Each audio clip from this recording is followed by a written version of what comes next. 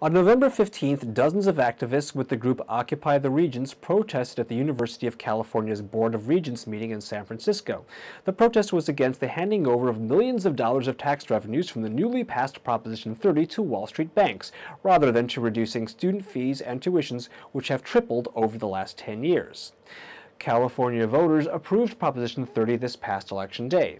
It raised taxes for the next seven years on individuals who make more than $250,000 a year and promised to provide educational funding and relief for the recent fee and tuition hikes. The Regents blamed these hikes on a bad economy. However, a new report by UC Berkeley doctoral students instead links them to financial practices of the Regents themselves.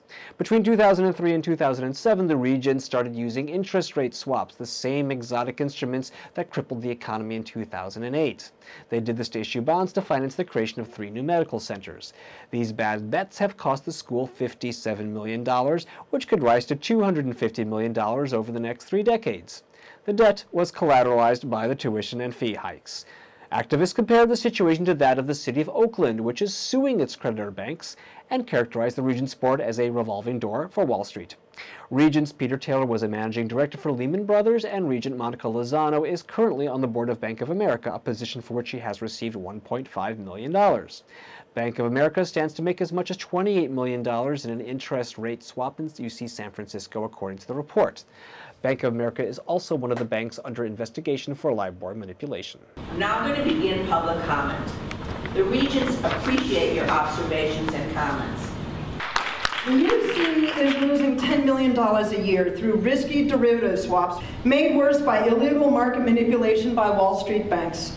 By failing to renegotiate the swaps and pursue legal options against the banks that broke the law, the UC is leaving up to $200 million on the table. An independent actuarial analysis has concluded that UC could be saving up to $1 billion in costs over the next four years if they simply use the same methodology that every other major pension system in the country uses.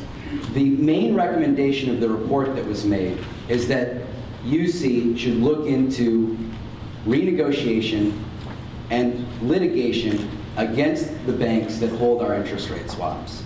Is CEO Laret's continued multi-hundred thousand dollar bonuses on top of a $1.1 million salary worth it? This is something that the city of San Francisco, San Francisco Art Museum did with leadership from two of your members, uh, Regent Schilling and Regent Newsom and saved $40 million on. The $167 million to top management uh, is just shameful. They already make over $200,000. The reason we have the losses is because Wall Street banks have manipulated interest rates illegally. Both of the owners of our interest rate swaps, Bank of America and Deutsche Bank, are under federal investigation, and Deutsche Bank has, has already admitted complicity in this illegal interest rate manipulation. And the whole Prop 30 mess. Your first reaction is to raise student fees after the state of California trusted you to do the right thing? What is wrong with you?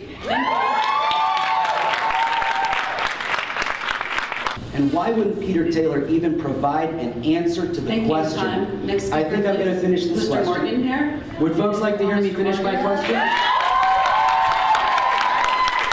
So I think I'm going to finish my question. And my question is, why didn't Peter Taylor even answer the question of why UC has not considered renegotiation or litigation? We deserve an answer, and this Regents body needs to act because hundreds of millions of dollars are going to Wall Street profits while students are on the hook for tuition hikes and cuts. And we're going to go on the offensive. We're going to demand a rollback, not keeping the fees at where they are, but a rollback of the tuition hikes to 2009 because we know there's no excuse. The Democrats now have a supermajority in both houses, and they have no excuse. They can vote in February for taxing the rich, and we're not going to accept no for an answer from them or from you. Woo! Why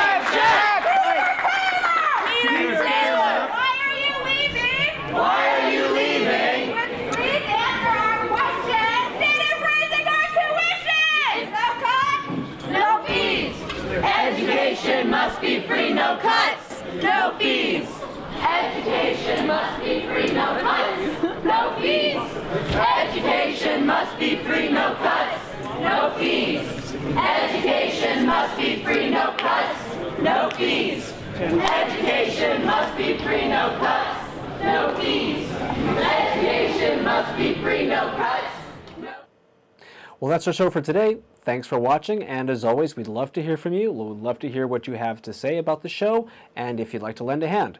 Our number is 646-580-8446, and our email is info at occupypublicaccesstv.com.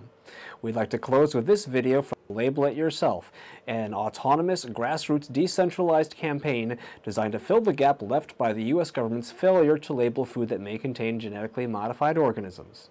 Enjoy and shop wisely. I'm Atik Zabinski.